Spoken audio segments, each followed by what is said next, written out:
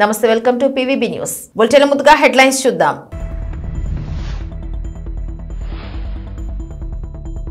ఢిల్లీలో పద్మ పురస్కారాలు అందించిన రాష్ట్రపతి ఈ ఏడాది నూట ఆరు మందికి పద్మ అవార్డులు.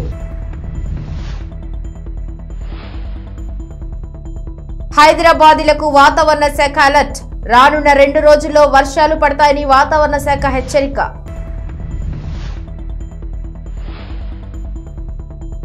అత్యంత సంపన్న భారతీయుడిగా ముఖేష్ అంబానీ ఇరవై మూడవ స్థానానికి పడిపోయిన గౌతమ్ ఆదాని.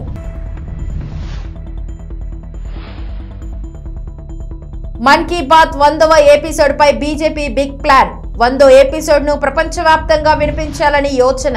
ఈ ఏడాది రిపబ్లిక్ డే సందర్భంగా దేశంలోని వివిధ రంగాలకు చెందిన నూట ఆరు మందికి కేంద్రం పద్మ పురస్కారాలు ప్రకటించడం తెలిసిందే.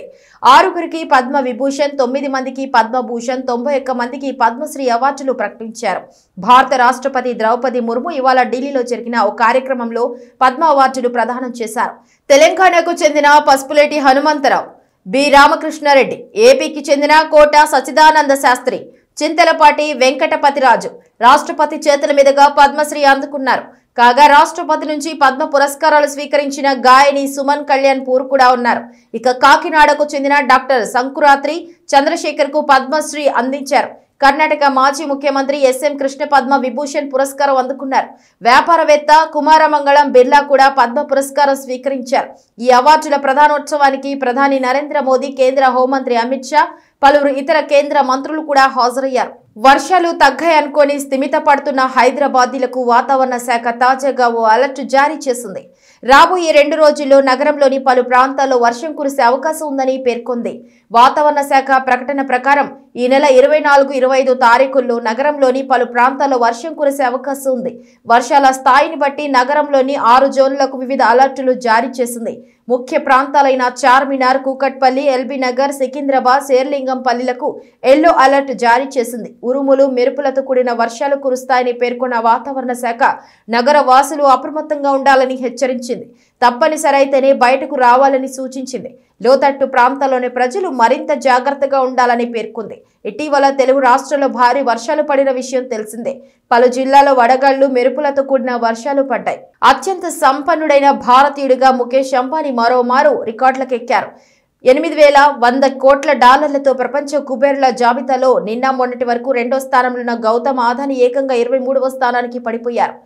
M three M Hurun global rich list రెండు వేల ఇరవై మూడు పేరుతో విడుదల చేసిన నివేదిక ఈ విషయాన్ని వెల్లడించింది.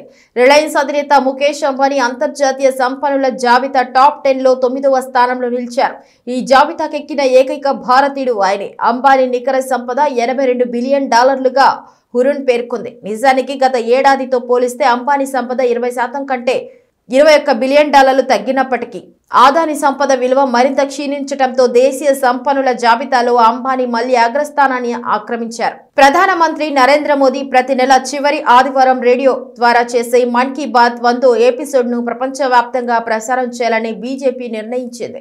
ఏప్రిల్ చివరి వారంలో మోదీ చేసే ప్రసంగంతో ఈ కార్యక్రమం వంద ఎపిసోడ్లు పూర్తి చేసుకుంటుంది. ఈ నేపథ్యంలో ఈ ఎపిసోడ్ను ప్రపంచవ్యాప్తంగా వినిపించాలని భావిస్తుంది. అంతేకాదు మోదీ తన మన్ కీ బాత్లో ఇప్పటి వరకు ప్రస్తావించిన వ్యక్తులను ఢిల్లీకి ఆహ్వానించి సత్కరించనుంది. అలాగే దేశవ్యాప్తంగా వంద ప్రాంతాలను ఎంపిక చేసి అక్కడున్న వంద మంది ప్రముఖులను ఆహ్వానించి మన్ కీ బాత్ వినిపిస్తారు. బీజేపీకి చెందిన వంద బూత్లలో ఈ కార్యక్రమాన్ని ప్రత్యక్ష ప్రసారం ద్వారా వినిపిస్తారు. అక్టోబర్ మూడు రెండు వేల పద్నాలుగులో ప్రారంభమైన ఈ కార్యక్రమం ఏప్రిల్ ముప్పైతో వంద ఎపిసోడ్లు పూర్తి చేసుకుంటుంది. చిత్తూరు జిల్లా పూతలపట్టు నియోజకవర్గం ఐరాల మండలంలో వెలసిన ప్రముఖ పుణ్యక్షేత్రం స్వయంభు కాణిపాకం శ్రీ వరసతి వినాయక స్వామి ఆలయంలో ఉగాది సంబరాలు అంబరానంటాయి ఉగాది సందర్భంగా ఆలయాన్ని వివిధ రకాల పుష్పాలతో అలంకరించారు. ఉగాది సందర్భంగా ఆలయ ప్రాంగణంలో ఉదయం తొమ్మిది గంటల నుంచి పదకొండు గంటల మధ్యలో వేద పండితులు పురోహితుల ఉత్సవ మూర్తులకు ప్రత్యేక పూజలు అనంతరం పంచాంగ శ్రవణం నిర్వహించారు. ఈ సందర్భంగా ఏడాది రాష్ట్రానికి ఎంత మంచి జరుగుతుందని వర్షాలు సకాలంలో కురుస్తాయని రాష్ట్రం సుభిక్షంగా ఉంటుందని పురోహితులు వివరించారు. ఉదయం నుంచి ఆలయంలో భక్తులు బార్లు తీరారు. భక్తులకు ఎలాంటి అసౌకర్యం కలగకుండా ఆలయ ఈవో వెంకటేష్ చైర్మన్ మోహన్ రెడ్డిలో అన్ని ఏర్పాట్లు చేసి పర్యవేక్షించారు. భక్తులందరికీ ఉగాది శుభాకాంక్షలు తెలియజేశారు.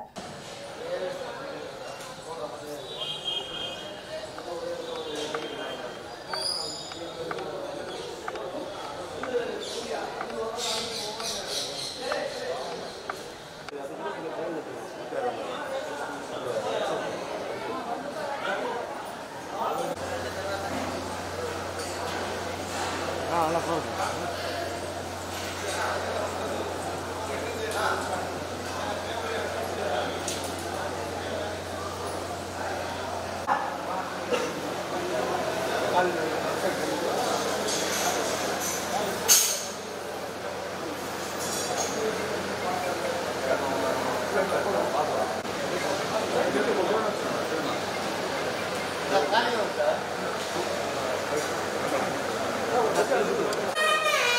を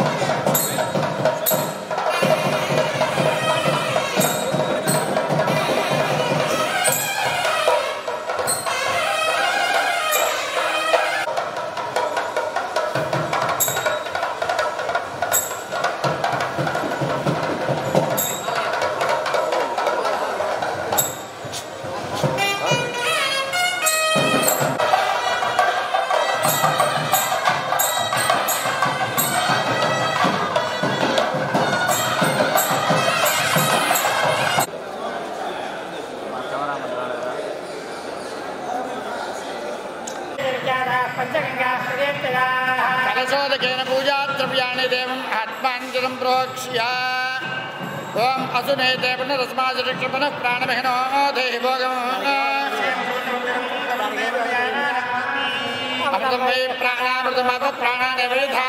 ద్వారా పొందవచ్చు. నానా కర్మ సుసాధనం నానా కర్మం అనేకమైనటువంటి కర్మాలు చేస్తుంటాం. ఇవి ఈ విధంగా ఇప్పుడు మన వేద పండితులు ఆ వినాయక స్వామి యొక్క ప్ర- అందరి ఇళ్ళల్లో ఉంట ఉంటే చాలా మంచిది.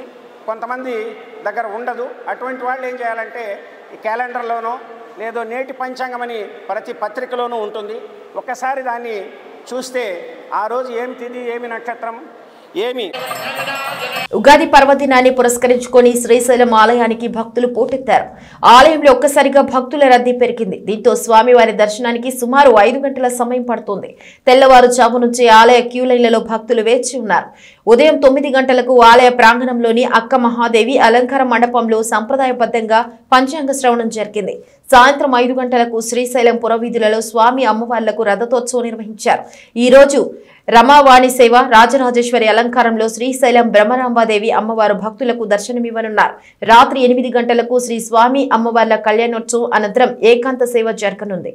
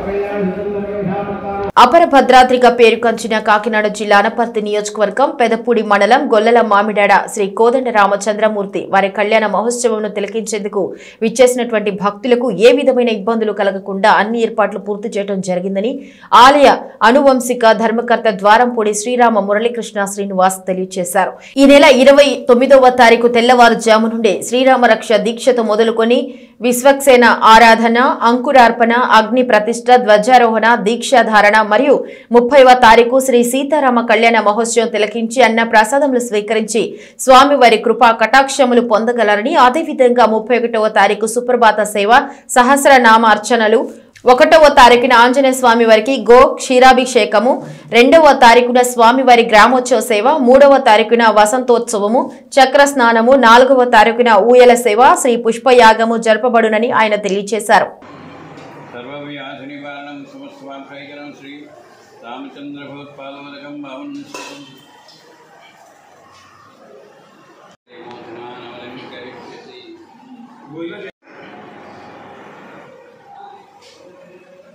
యాభై శాఖ మంది పుట్టు సత్యనారాయణ గారు ఒకటి ఉన్నారంటే ఇంకొకరితో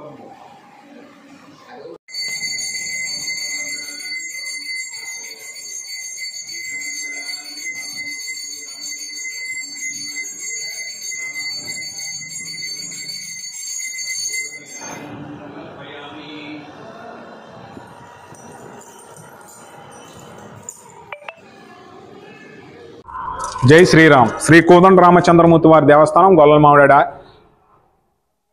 నా పేరు శ్రీరామ మురళీకృష్ణ శ్రీనివాసరెడ్డి ఈ శ్రీ కోదండ రామచంద్రమూర్తి వారికి కళ్యాణ మహోత్సవాలు అంటే సీతారాముల కళ్యాణ మహోత్సవాలు ముప్పై మూడు రెండు వేల ఇరవై మూడో తారీఖుని పన్నెండు గంటల ముప్పై నిమిషాలకు కళ్యాణం మహోత్సవాలు చేయడం జరుగుతుంది. వచ్చిన భక్తులకు అన్ని ఏర్పాట్లు చేయడం జరిగింది.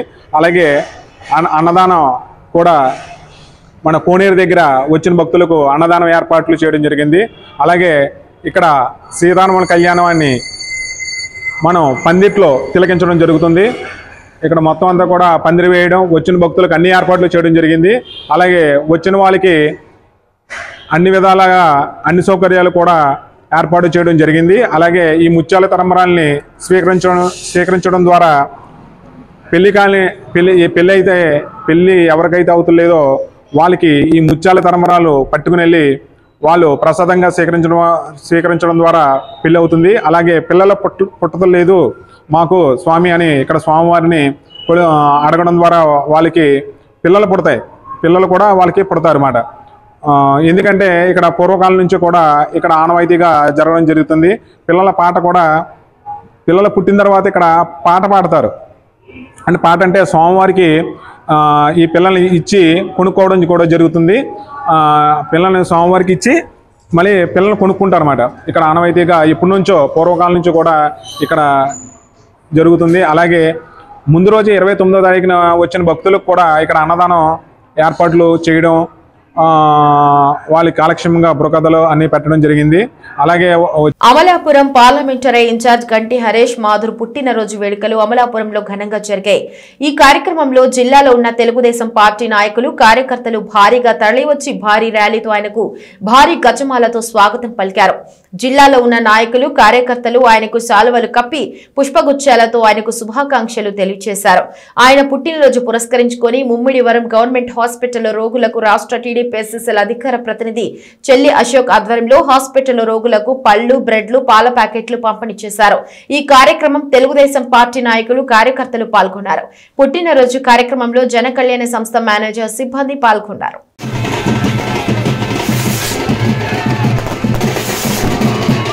మానవుడు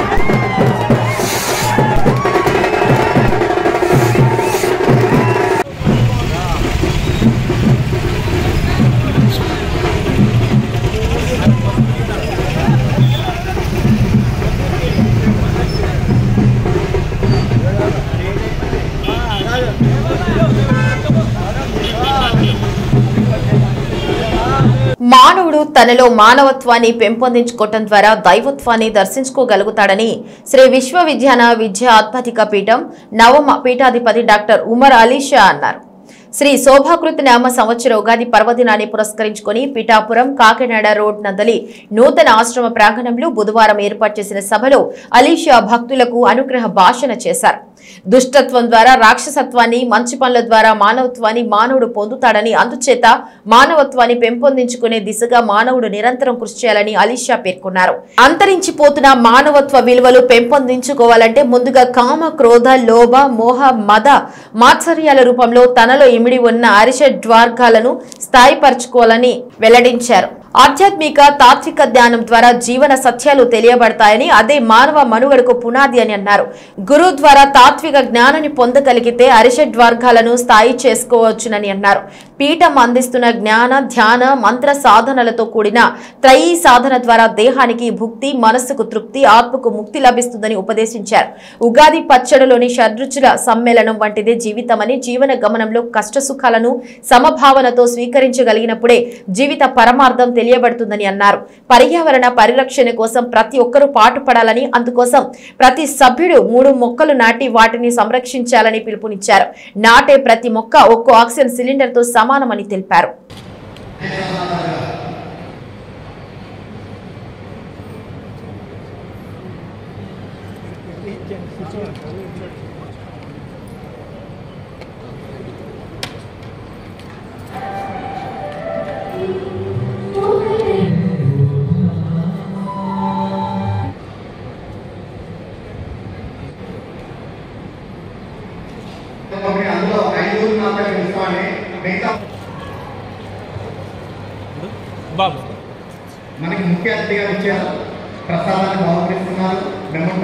బ్రహ్మంటాలు బహుకరిస్తున్నారు శ్రీమతి ఎం.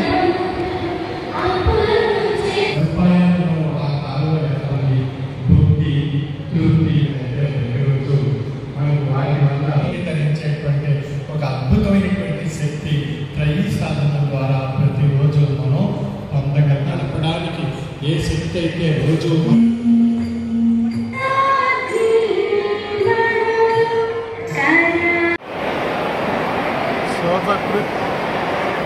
ఉగాది నామ సంవత్సరం సందర్భంగా ఆధ్యాత్మిక తాత్విక జ్ఞాన మార్గంలో మనం ప్రయాణం చేసి తనలో ఉండేటువంటి జడత్వాన్ని తొలగించుకొని ఈశ్వరత్వం వైపు పయనింపజేసేటువంటి అద్భుతమైనటువంటి శక్తి తాత్విక జ్ఞానం ద్వారా మనకు పొందవచ్చు. మనలో ఉండేటువంటి అరిషడ్ వర్గాలను స్థాయిపరిచేటటువంటి అద్భుతమైనటువంటి శక్తి ఉగాది పండుగ సందర్భంగా మనందరం తయారు చేసుకునేటువంటి ఉగాది పచ్చడిలో ఉండేటువంటి షడ్రుచులు మనలో ఉండేటువంటి అరిషడ్ వర్గాలను స్థాయిపరిచేటువంటి అద్భుతమైనటువంటి స్థితి మనందరికీ తెలియపరచబడుతుంది అదేవిధంగా మన ఆధ్యాత్మిక తాత్విక పరిజ్ఞానాన్ని విశ్లేషించుకొని మానవత్వంలో ఈశ్వరత్వాన్ని మనం దర్శింపజేసుకోవాలి అనుకున్నట్టు మనందరం కూడా ప్రతి సంవత్సరం కూడా ప్రతి ఒక్కరూ మూడు మొక్కలు నాటి ఈ భూగ్రహాన్ని సురక్షితంగా ఉండేటువంటి ఆధ్యాత్మిక జ్ఞాన తాత్విక దృష్టితో ఆలోచించగలిగినట్లయితే మనందరి బాధ్యతలో ఈశ్వరత్వం యొక్క రూపం మానవత్వంగా ఉంది అనేటువంటి విషయం మనందరికీ నిర్ధారణ కాబడుతుంది కాబట్టి ఇది మానవత్వం మేడ్చల్ జిల్లా కుత్బుల్లపూర్ నియోజకవర్గం జగద్గిరిగుట్ట నూట ఇరవై ఆరు డివిజన్ పరిధిలో శ్రీ శోభాకృత నామ సంవత్సర ఉగాది సందర్భంగా జగద్గిరిగుట్ట శ్రీ వాసవి కన్యకా పరమేశ్వరి దేవస్థానంలో దేవస్థానం ట్రస్ట్ చైర్మన్ రేగూరి ప్రవీణ్ కుమార్ గుప్తా ఆధ్వర్యంలో పంచాంగ శ్రవణ కార్యక్రమం నిర్వహించారు. ఈ కార్యక్రమంలో chairman Kancham Kailash Gupta president Uppala Ramesh Gupta vice chairman Neti Shankar Gupta general secretary Jigullapalli Lakshmanarao Gupta కోశాధికారి మహంకాళి సురేష్ గుప్తా వర్కింగ్ ప్రెసిడెంట్ యాద నరేంద్ర గుప్తా అదనపు working president Ganji Swamy Gupta joint secretary Angadi Satyanarayana Gupta vice president Lakshmi Narsaiah Gupta అదనపు కోశాధికారి P Narasimhulu Gupta organiser గజ్జి ఉపేంద్ర గుప్తా భక్తులు కాలనివాసులు తదితరులు పాల్గొన్నారు. చతుర్థ స్థానంలో అశుభం వలన అస్థిర బుద్ధియు స్త్రీమూలకముగా కలాహాలు ప్రయత్న కార్యములు ఫలించకుండాను తరచు ప్రయాణాలు సంతానంతో వినోదము అకాల భోజనము శరీరమున బాధాదిత్యము మొదలు విషయాలు కలుగుతాయి ఇది కన్యరాశి యొక్క తరువాత కర్కాటక రాశి వారు.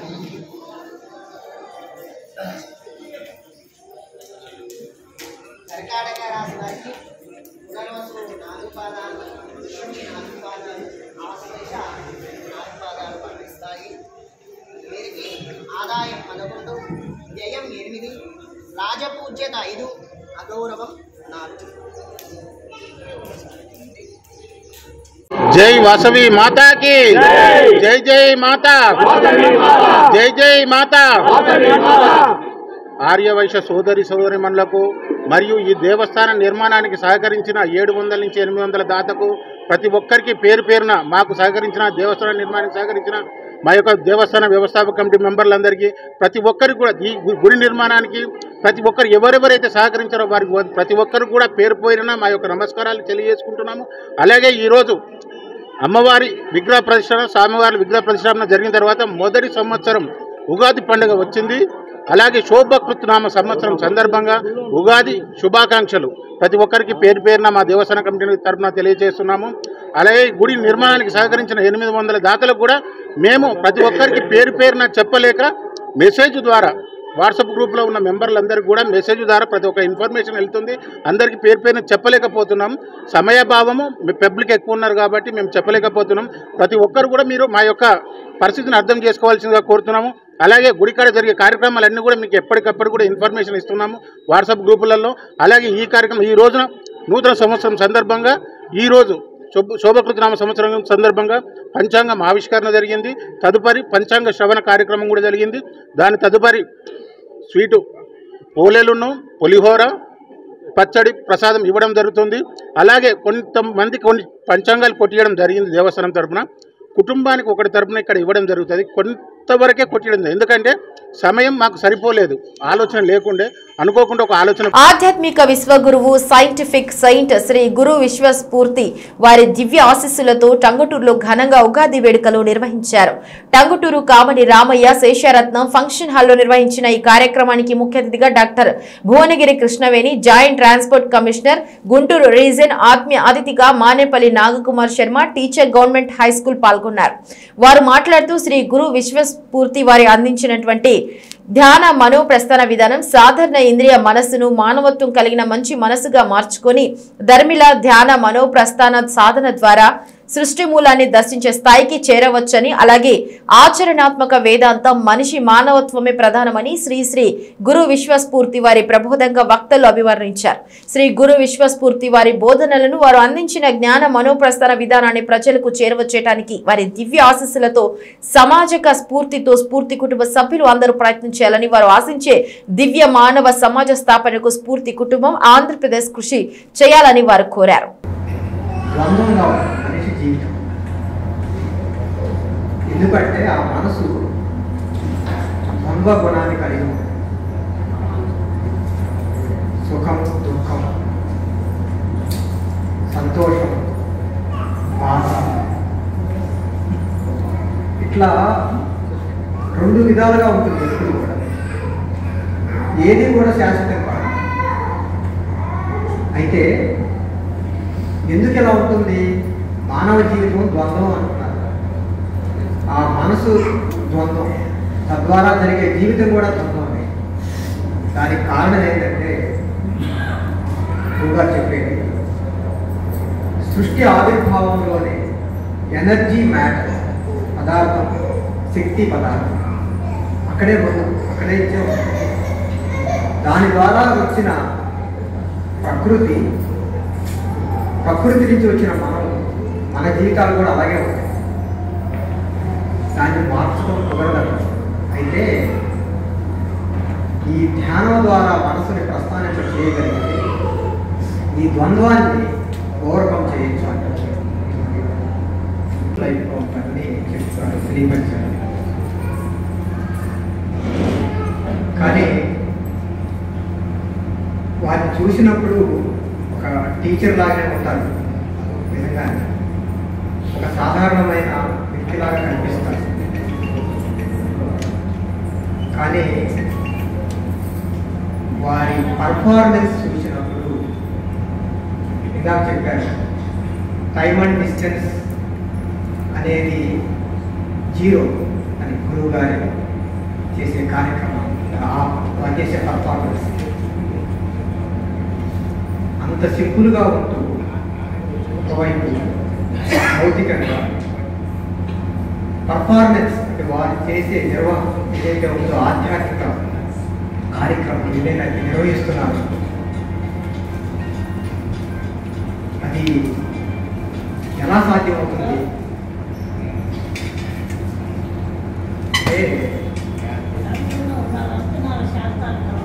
గురువు గారు దానికి ఇచ్చిన మార్గమే ధ్యాన మనోప్రస్థానం ఇవి బులెటిన్ అప్డేట్స్. మరొక బులెటిన్లో మళ్ళీ కలుసుకుందాం. అంతవరకు సెలవు నమస్కారం.